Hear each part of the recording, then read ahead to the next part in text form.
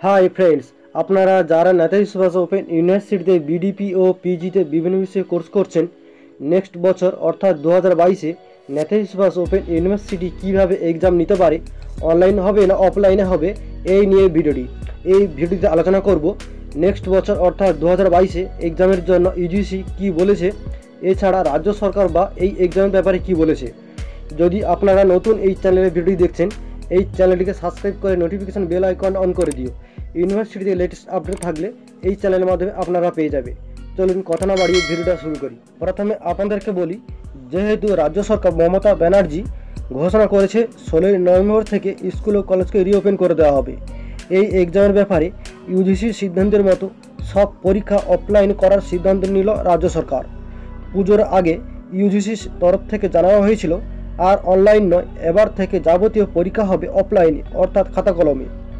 ইউজিসির এই নির্দেশিকা মেনে নিয়েছে রাজ্যের সমস্ত বিশ্ববিদ্যালয়। সুভাষ ওপেন ইউনিভার্সিটি এর ব্যতিক্রম নয়।